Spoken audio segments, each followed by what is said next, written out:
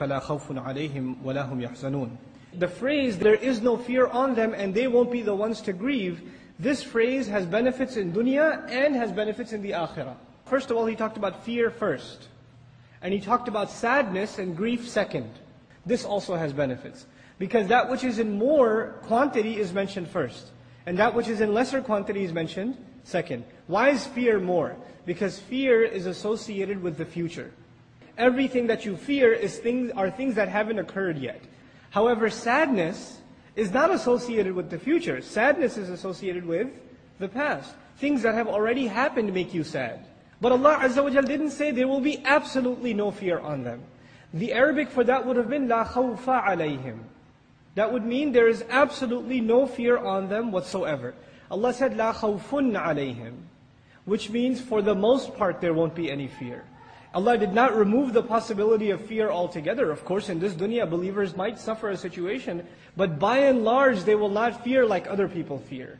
The other thing that's very powerful here, there's a difference between saying, so, so and so fears, or there's a fear on him. When you say, for example, the child fears, that means the child has the feeling of fear inside of them. When you say there's a fear on the child, it means that the child is in some kind of danger, even if they're not feeling afraid. In other words, now you tell me, which is worse? The child feeling afraid or the child actually having a fear on them? Which is a worse situation? Having a fear on them, because that's an actual danger afflicting them. Now, Allah Azza wa doesn't say, la yakhafuna. He doesn't say they don't fear. Actually, all over the Quran we find a quality of the believers is that they do fear. In this dunya and in the akhirah, on judgment day, believers are in fact afraid.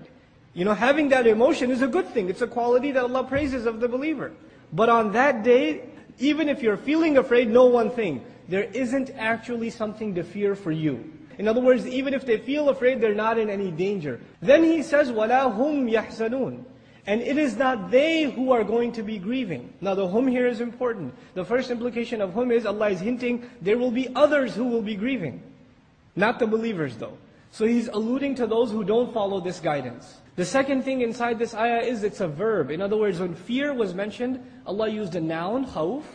When sadness was mentioned, Allah used a verb. Nouns are permanent linguistically, and verbs are temporary. So when Allah mentions fear, He alludes to it, He talks about it in permanent form. But when He talks about grief, He talks about it in temporary form. Which is amazing, because fear is permanent in human psyche. But grief comes and goes, it's temporary.